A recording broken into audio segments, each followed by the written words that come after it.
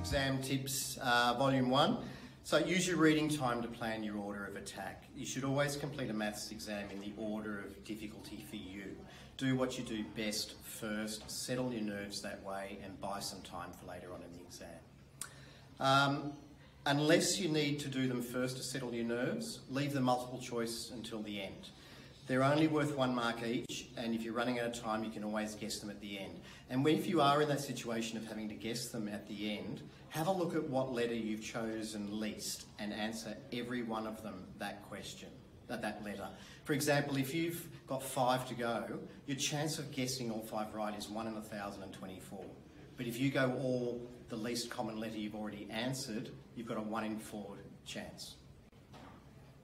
Um, show all your working in written responses. If a question is worth two or more marks or there's writing space provided, use that to guide the type of response that is expected of you to earn the marks.